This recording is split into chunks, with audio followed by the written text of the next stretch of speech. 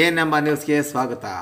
ದೊಡ್ಡಗಂಜೂರು ಗ್ರಾಮ ಪಂಚಾಯಿತಿಯಲ್ಲಿ ಹಣ ದುರುಪಯೋಗ ತನಿಖೆಗೆ ಬಂದ ಲೋಕಾಯುಕ್ತ ಅಧಿಕಾರಿಗಳು ಮತ್ತೆ ವಾಪಸ್.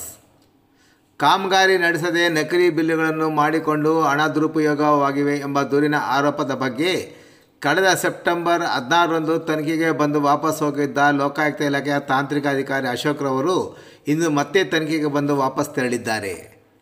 ತಾಲೂಕಿನ ದೊಡ್ಡಗಂಜೂರು ಗ್ರಾಮದ ಜೆ ನಾರಾಯಣಸ್ವಾಮಿ ಎಂಬುವರು ದೊಡ್ಡಗಂಜೂರು ಗ್ರಾಮ ಪಂಚಾಯತಿಯಲ್ಲಿ ಹಣ ದುರುಪಯೋಗವಾಗಿರೋ ಬಗ್ಗೆ ಸಲ್ಲಿಸಿದ ದೂರಿನ ಮೇಲೆ ಕಳೆದ ಸೆಪ್ಟೆಂಬರ್ ಹದಿನಾರರಂದು ತಾಲೂಕು ಪಂಚಾಯಿತಿ ಅಧಿಕಾರಿಗಳೊಂದಿಗೆ ತಾಲೂಕಿನ ದೊಡ್ಡಗಂಜೂರು ಗ್ರಾಮಕ್ಕೆ ತೆರಳಿ ತನಿಖೆ ಮಾಡಲು ಮುಂದಾದಾಗ ಅಲ್ಲಿನ ಜನರು ಅಡ್ಡಿಪಡಿಸಿದ ಕಾರಣ ಅಧಿಕಾರಿ ಬಂದ ದಾರಿಗೆ ಸುಂಕವಿಲ್ಲ ಎಂದು ವಾಪಸ್ ತೆರಳಿದ್ದರು.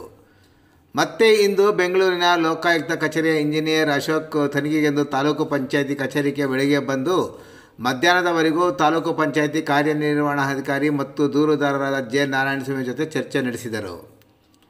ಶಂಕರಾಚಾರ್ಯ ಎಂಬ ಅಧಿಕಾರಿ ಇಂದು ಗೈರು ಹಾಜರಾಗಿರೋ ಕಾರಣ ಗ್ರಾಮಕ್ಕೆ ಭೇಟಿ ನೀಡಿ ತನಿಖೆ ನಡೆಸಿದ ತಾಲೂಕು ಪಂಚಾಯತಿನ ಮತ್ತೆ ವಾಪಸ್ಸು ಹೋಗುವ ಬಗ್ಗೆ ದೂರುದಾರರು ಆರೋಪಿಸಿದ್ದಾರೆ. ದೂರುದಾರ ಜೆ ನಾರಾಯಣಸ್ವಾಮಿ ಭೇಟಿ ಮಾಡಿದ ವರದಿಗಾರರೊಂದಿಗೆ ಮಾತನಾಡಿ, ತಾಲೂಕು ಪಂಚಾಯಿತಿಯ ಎರಡು ಸಾವಿರದ ಹದಿನೇಳು ಹದಿನೆಂಟನೇ ಸಾಲಿನ ಮುದ್ರಾಂಗ ಶುಲ್ಕ ಯೋಜನೆಯಡಿಯಲ್ಲಿ ಗ್ರಾಮದ ಪರಿಶಿಷ್ಟ ಜಾತಿಯ ಕಾಲೋನಿಯಲ್ಲಿ ನೀರುಗಂಟಿ ಕೃಷ್ಣಪ್ಪ ಮನೆ ಹತ್ತಿರದಿಂದ ನೀರಿನ ಸಿಸ್ಟಮ್ವರೆಗೂ ಪೈಪ್ಲೈನ್ ಅಳವಡಿಕೆಗೆ ಐವತ್ತು ಸಾವಿರ ಮತ್ತು ಗ್ರಾಮ ಪಂಚಾಯತಿ ಕಚೇರಿಯಿಂದ ಸಿಸ್ಟಮ್ವರೆಗೂ ಐವತ್ತು ಐವತ್ತು ಸಾವಿರ ಮಂಜೂರಾಗಿತ್ತು. ಆದರೆ ಕಾಮಗಾರಿ ನಡೆಸದೆ ಹಿಂದೆ ಇದ್ದ ಹಳೆಯ ಪೈಪ್ಲೈನ್ ಸಂಪರ್ಕ ಕಲ್ಪಿಸಿ ಹಣ ಲಪ್ಟಾಯಿಸಿರುವ ಬಗ್ಗೆ ದೂರು ಸಲ್ಲಿಸಿದ್ದಾರೆ, ಸಲ್ಲಿಸಿದ್ದೇನೆ. ಶಂಕರಾಚಾರ್ಯ ಎಂಬ ಅಧಿಕಾರಿ, ಗೈರು ಹಾಜರಾದ ಕಾರಣ ತನಿಖೆಗೆ ಬಂದ ಅಧಿಕಾರಿಗಳು ಮತ್ತೆ ವಾಪಸ್ ಹೋಗಿದ್ದಾರೆ. ಇದು ಎರಡನೇ ಬಾರಿ ವಾಪಸ್ ಹೋಗಿದ್ದು ಮುಂದಿನ ದಿನಗಳಲ್ಲಿ ಕಾನೂನು ರೀತಿಯಲ್ಲಿ ತನಿಖೆ ನಡೆಸದೇ ಇದ್ದ ಪಕ್ಷದಲ್ಲಿ ನಾನು ಸಹ ಕಾನೂನು ರೀತಿಯಲ್ಲಿ ಹೋರಾಟ ನಡೆಸುತ್ತೇನೆ ಎಂದು ಜಯನಾರಾಯಣ ಸ್ವಾಮಿ ಹೇಳಿದರು.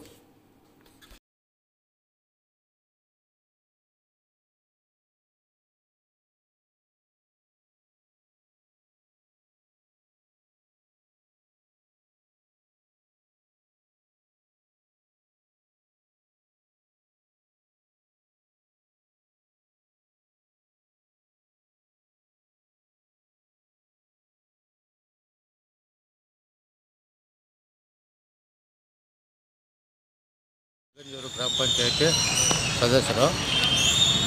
ತಾಲೂಕ್ ಪಂಚಾಯತಿಯಿಂದ ಕಾಮಗಾರಿ ಪೈಪ್ಲೈನು ಒಂದು ಲಕ್ಷ ಗ್ರ್ಯಾಂಟ್ ಹಾಕಿಸ್ಕೊಂಡು ಶಂಕರಾಚಾರ್ಯ ಕೆಲಸ ಮಾಡ್ತಿದ್ರು. ಅಲ್ಲಿ ಪೈಪ್ಲೈನ್ ಪೈಪ್ಲೈನ್ ಹಾಕದೆ ಬರೀ ಸಿಸ್ಟಮ್ ಹಾಕ್ಬಿಟ್ಟು ಬಿಲ್ ಮಾಡಿಕೊಂಡು ಇದು ಮಾಡಿದರು. ಅದು ನನಗೆ ಗೊತ್ತಾಗಿ ಮತ್ತು ತಾಲೂಕ್ ಪಂಚಾಯತಿಯಿಂದ ಮಾಹಿತಿ ತಗೊಂಡು ಅದು ಲೋಕಾಯುಕ್ತಕ್ಕೆ ಹಾಕಿದ್ದೆ. ಲೋಕಾಯುಕ್ತ ಅವರು ಹದಿನಾರು ಒಂಬತ್ತರಲ್ಲಿ ತನಿಖೆಗೆ ಬಂದರೆ ಅಲ್ಲಿ ಊರಿನಲ್ಲಿ ಕೆಲವರು ಅಡ್ಡಿಪಡಿಸಿ ಗಲಾಟೆ ಮಾಡಿದ್ರು. ಲೋಕಾಯುಕ್ತರು ವಾಪಸ್ ಹೋಗಿ. ಮತ್ತು ಹದಿಮೂರು ಹತ್ತು ಹತ್ತರಲ್ಲಿ ಬಂದರು. ಹತ್ತರಲ್ಲಿ ಬಂದು ಪೊಲೀಸ್ ಬಂದು ಪೊಲೀಸರು ಎಲ್ಲ ಬಂದಿದ್ದರು ಹದಿಮೂರು ಹತ್ತರಲ್ಲೂ ಶಂಕರಾಚಾರ್ಯ ಗೈರಾಗಿದೆ ಬರ್ತಾ ಇಲ್ಲ. ಅವ್ರಿಗೇನೋ ಸಂಬಳ ಬರ್ತದೆ ಐವತ್ತು ನಲ್ವತ್ತೈವತ್ತು ಸಾವಿರ ನಾವು ರೈತರು, ನಾವೇನು ಮಾಡೋದು? ಡೈಲಿ ಹಿಂಗೆ ಡೇಟ್ ಬೀಳ್ತಾಯಿದ್ರೆ ಅದ್ರ ಮೇಲೆ ಏನೋ ಕ ಕ್ರಮ ತಗೋಬೇಕಲ್ಲ